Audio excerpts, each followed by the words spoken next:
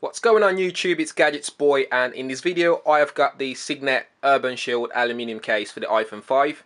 Now this case here is a dual material case, on the back you got a nice uh, anodized aluminium back and on the inside you got a soft uh, matte finish in there.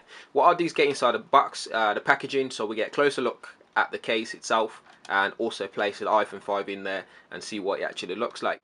So once it's out of its uh, outer packaging, so you get your case here, the uh, actual Cygnett uh, aluminium case there, and if I just take take off the uh, rest of the packaging, you'll also see that you get uh, a screen protector, which is nice of them. It means uh, you save some money, so you don't have to buy extra screen protector once you've bought this case. This case will set you back £19.95 here in the UK.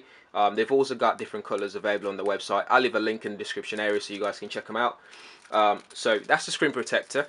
Uh, on the back here you got this aluminium finish here which is quite solid and strong as well and you got all your cutout um, there as well so you got your cutout there for the camera I'll just take this uh, backing card off here. So you can you can see closer. That's the soft uh, finishing there on the back. You got your aluminium finish. And what I also wanted to point out is on the edge here around the edge you can see the silver lining going uh, around it. Uh, that sort of reminds me of the uh, iPhone 5 uh, diamond cut that they've got around the edge on the iPhone 5 um, you might not be able to see properly there on the white version but I got the black version as well that I'll show you in a minute. Um, so here's the case you get all your cutouts there your volume rocker and all that uh, at the bottom here you got a big cutout area for your speaker and uh, lightning port as well and at the top you got your cutout as well. So this is what the case looks like. What we'll do is uh, I'll place the iPhone 5 in there first.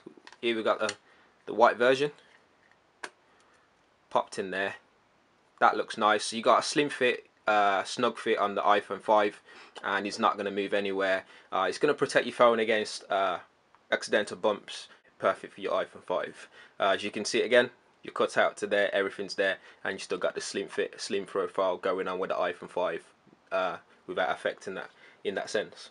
Um, let's place it, place the uh, black iPhone 5 in there as well, so you see what it looks like on the black version as well. So here he is with the black iPhone 5 placed in the case, so you can see again. He actually he probably looks a lot better on the black version than it is on the white version. So if you were to get a, uh, if you got a white iPhone 5, you might want to get the white version of this uh, Cygnett case here. And you can see the big cutout there where the camera is. So there's no flash uh, bounce back when you take photos with these so you can see the case is really nice. Let me know what you guys think. Leave a comment below. Uh, is it worth the price? Uh, is there anything that could be done differently on it? Leave a comment below. Uh, and yeah give it a thumbs up as well. And I'll see you guys all in the next video